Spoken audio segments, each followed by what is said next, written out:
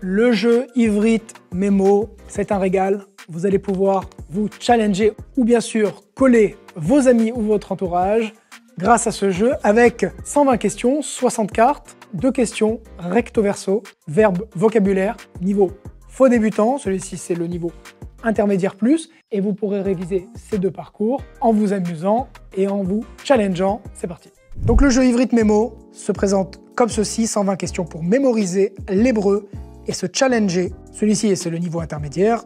Évidemment, il existe le même pour les faux débutants qui s'affichent à l'écran. J'ouvre le jeu, il y a 60 cartes avec 120 questions en tout, 60 questions vocabulaire, voyez, notez vocabulaire ici, et 60 questions verbes.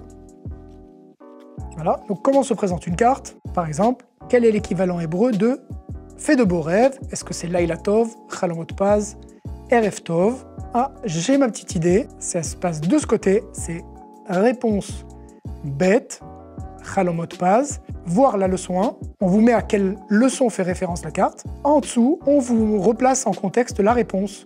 Avec un exemple. En hébreu et sa traduction. Ou la ozen, Chalamot Paz, il lui a chuchoté à l'oreille, fait de beaux rêves. Et derrière, vous avez la question verbe suivante. Comment dit-on endormir? Est-ce que c'est lishon, les heradem ou les ah, Je crois que c'est réponse guimel, les hardim, je pense que vous aviez aussi trouvé. Et évidemment, c'était réponse guimel, c'est noté ici, en rapport avec la leçon 1 toujours. Par exemple, Haerev ani hardim eta ben. Ce soir, j'endormirai mon fils. Voilà, 60 questions. Ici, pour vous, vocabulaire, et derrière 60 questions verbe. Pour se challenger soi-même, ou même des amis.